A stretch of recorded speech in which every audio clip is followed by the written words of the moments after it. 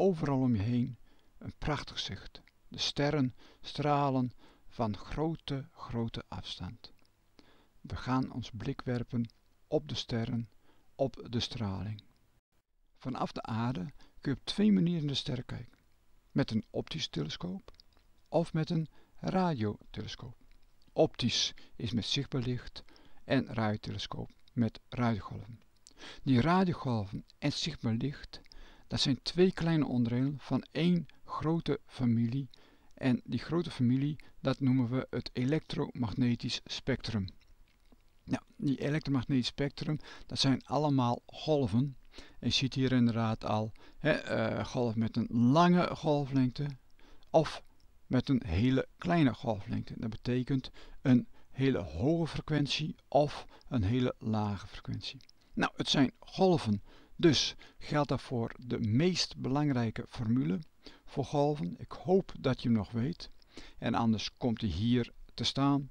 Het is V is lambda mal F. En hierbij is uh, V de voorplanssnelheid, lambda de golflengte en F is de frequentie.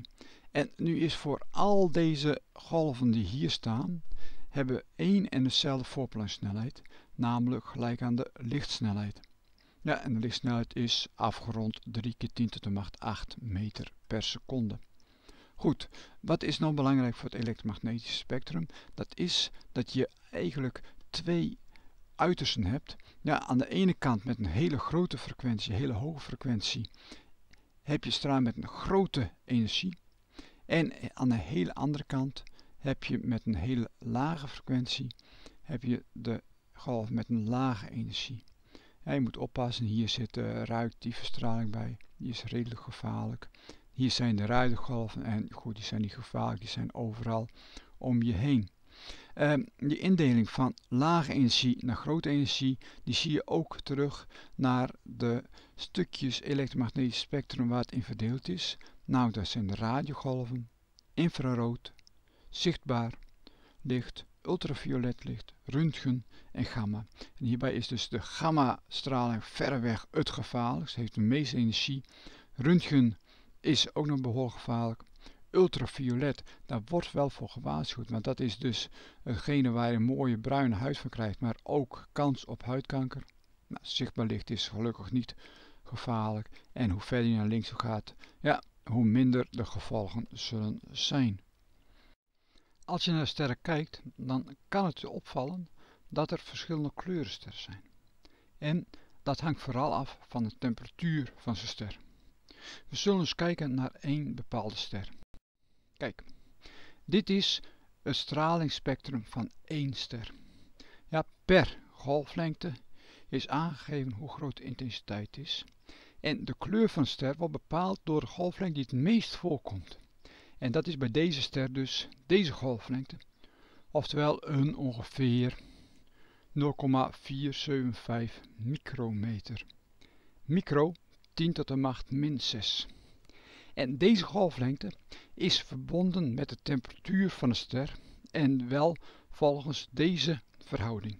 Ja, hierbij is de golflengte in meters, ja, dus dat is de meest voorkomende golflengte, maximaal voorkomende golflengte.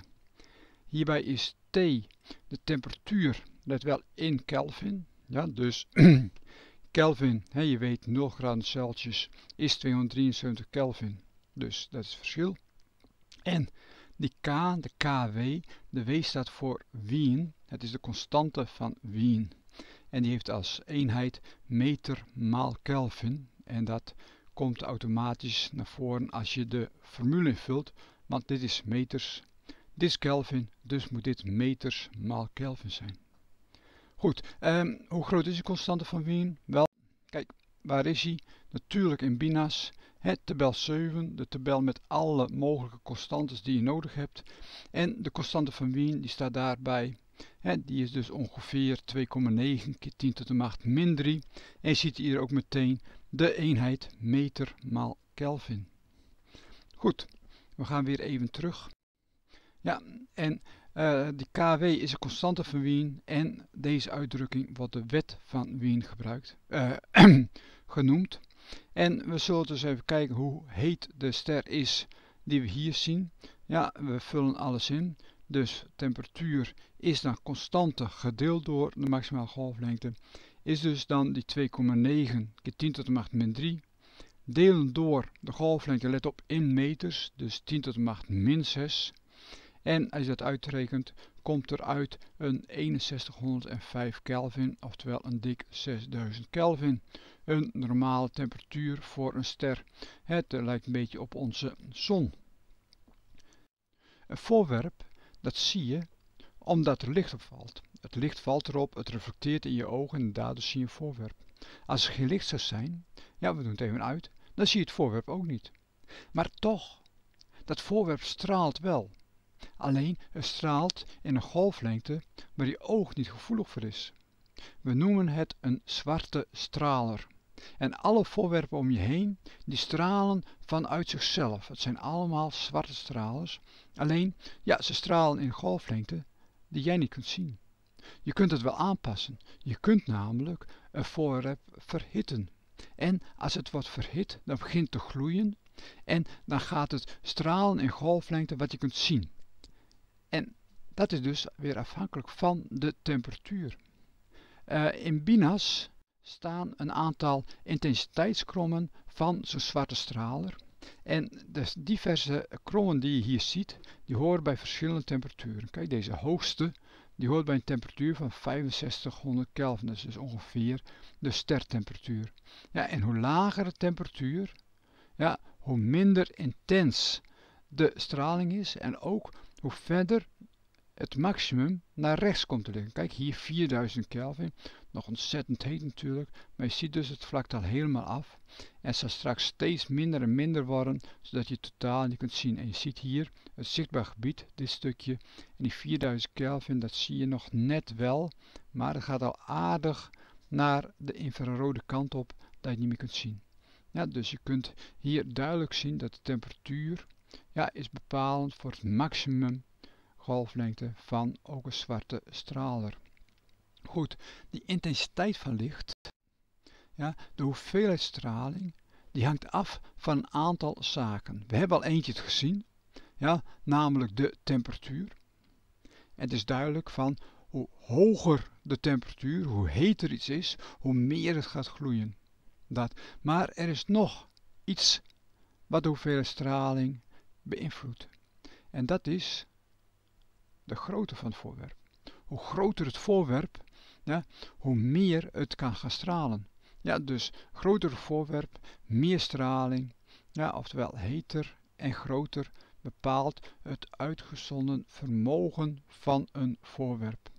Uitgezonden vermogen, ja, vermogen, dus hoofdletter P, en de eenheid van vermogen is nog steeds de watt, oftewel de joules per seconde. Dat, hè, en is afhankelijk van de temperatuur, let op, in Kelvin. En is afhankelijk van de grootte. En de grootte, dat vertalen we naar het oppervlak van het voorwerp. Het, uit het oppervlak waar het mee uitzendt. En een verband tussen die uitgezonden vermogen en temperatuur en oppervlak, dat wordt samengevat in de wet van Stefan Boltzmann. En hier is de wet van Stefan Boltzmann. Hierbij is T natuurlijk weer de temperatuur, let op, temperatuur tot de macht 4. Dat A is het oppervlak van het voorwerp wat aan het uitstralen is, in vierkante meters natuurlijk. De sigma, dat is weer een constante, de constante van Steven Boltzmann.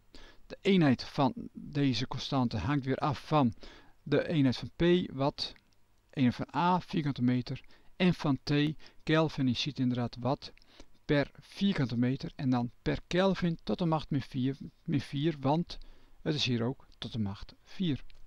Dat. En natuurlijk, niet vergeten, uitgezonden vermogen in watt. Uh, die constant van Steven Boltzmann, natuurlijk, daar is hij weer. Binas, ja, uh, we hadden daar constante van Wienal en vlak erboven, ja, daar vinden we de constante van Steven Boltzmann en je ziet een 5,67 keer 10 tot de macht min 8. Goed, we hebben dus twee wetten, Steven Boltzmann en de wet van Wien. Uh, misschien ook altijd wel onaardig om te weten hoe ze eruit zien. Kijk, dit is Stefan Boltzmann en mag niet achterblijven. Hier is meneer Wien. Ja, twee belangrijke natuurkundigen in hun tijd. Oké, hier hebben we een ster. Ja, lekker heet. Hij straalt. Ja, hij straalt overal naartoe. Uh, maar als je dit nou ziet en je gaat vlak bij de ster zitten, ja, dan is vermogen al redelijk groot. Maar als je nu verder af gaat zitten, dan zie je dat er steeds minder vermogen overblijft. Ja, hoe verder je van de ster af zit, hoe minder vermogen je krijgt. Ook maar goed natuurlijk, want te dicht bij de zon, dat is ook wel een beetje ongezond.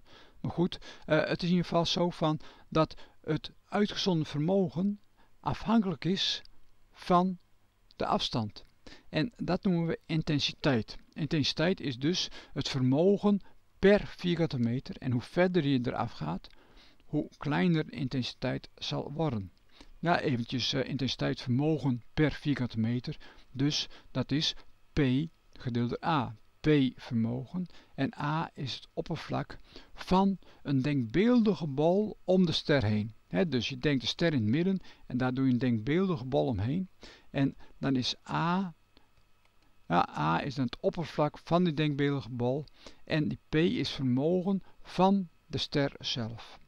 Nou, die A van een bol, oppervlak van de bol, is 4 pi r kwadraat. En dan zie je dus dat het afhankelijk is, niet van de afstand, maar het is afhankelijk van de afstand in kwadraat.